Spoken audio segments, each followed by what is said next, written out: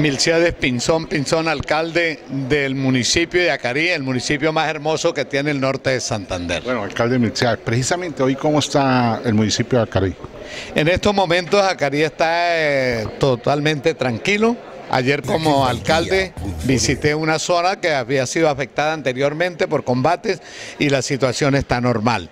Se tiene temor o preocupación porque para todos es sabido de que en Acarí existen dos, uh, dos grupos al margen de la ley, el ELN y el EPL, y también está el ejército en la zona.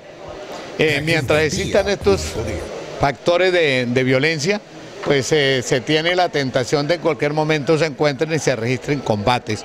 Lo que le hemos pedido a la, a la, tanto al ejército, a la policía, como a los grupos insurgentes, que se tenga en cuenta el derecho internacional humanitario, los derechos humanos, que se respete los protocolos de Ginebra y que se respete la población civil, que la población civil no debe estar haciendo parte del conflicto porque no tiene que ver en, en esa situación. Precisamente se habla de paz y estos grupos, sobre todo en la zona de Acarí, ¿por qué no quieren entrar, alcalde?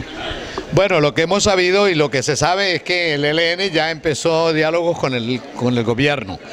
Y como, como alcalde del municipio de Acarí, conjuntamente con los demás alcaldes del Catatumbo, que estamos agrupados en la Asociación de Alcaldes de la provincia de Ocaña, sur del Cesar y el Catatumbo, que eh, dirige nuestro amigo Emiro Cañizares, este que se reconozca al EPL como un grupo insurgente y que se siente el gobierno a la mesa con ellos, porque mientras que hayan estos dos grupos, pues nosotros no podemos tener paz.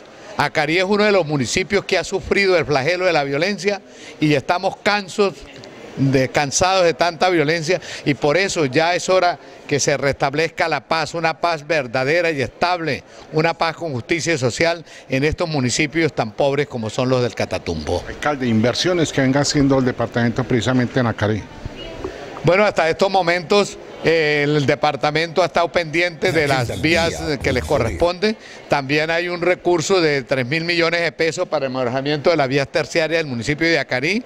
Estamos mejorando eh, la, el deporte con la construcción de un polideportivo en la institución educativa San Miguel. Gracias al señor gobernador por tener en cuenta Acarí, eh, porque este municipio, en esta administración del doctor William Villamizar, ha tiene las esperanzas de, de, lograr algunos recursos para mejorar sobre todo eh, el, el, sistema vial del municipio.